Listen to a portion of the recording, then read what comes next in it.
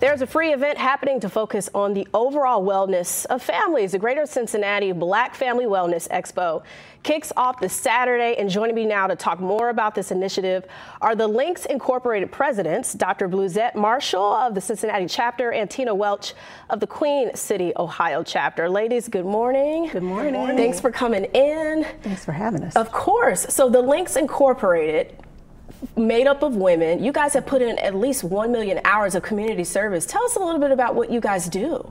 Absolutely. So we have about 17,000 members across the country and um, overseas. And some of the work that we do have done is in the arts, it's in our services to youth, it's in health and human services, international trends, as well as national trends. Oh, wonderful. Mm. And then here locally, both of us are very involved with the youth um, regarding um, STEM, um, the Nouveau Chamber Players um, with the Symphony, um, Cincinnati Symphony Orchestra, and then we, um, the Cincinnati chapter also has a Leadership Academy. So we do a lot of work with the youth.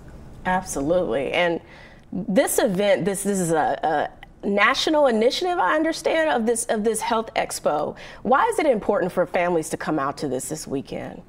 Absolutely. So our national president really wanted to have days of impact, not just in our communities, but across the country overall. And looking at the disparities that face the black community, mm -hmm. we knew that it was important for us to do something.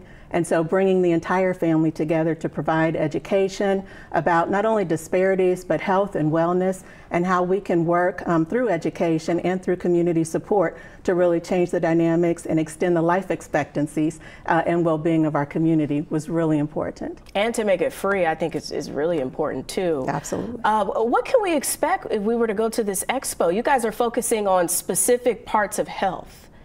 Yes, so we're looking at eight dimensions of wellness. And so that ranges anywhere from emotional wellness to intellectual to occupational to social um, to financial. Um, we're also looking to engage members of our community to learn more about uh, what it means to really be well and to thrive in our community. Right. Um, the NAACP is joining us and they're bringing out their mobile unit. And so this is, we believe, the first of its kind in yeah. the country where mm -hmm. members can come, they can check their registration for voting, they can register to vote, they can look at the ballots in their respective districts. So we're really excited to provide a holistic approach.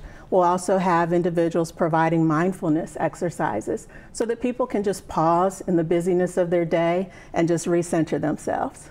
Yeah, and, and another thing, oh, go right ahead, I'm sorry. I was going to say, in addition to that, we would also have the traditional health screenings like blood pressure checking and, and those types of things. And so we will have the University of Cincinnati and some other health providers um, that will be there as well.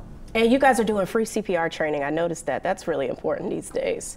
Absolutely. Thanks to a partnership with the Cincinnati Red Cross, we're happy to be able to provide that service and that resource so that members understand and can know what to do in case of any emergency. And how can we register for this free health expo? Sure. So registration is online. I believe you may have a QR code in we case do. folks want to chat, uh, capture there that with their phones. right on our screen. Awesome, awesome. But you can also go to cincinnatilinks.org and check out our registration there. We hope that many members of our community will come out. We're excited to to visit and host the community for this event. And just want to tell you guys that it is Saturday, March 9th at the University of Cincinnati Lindner College of Business from 10 a.m. to 3 p.m. Ladies, thanks for coming in this morning. Thanks for having Thank you. us. You are so welcome.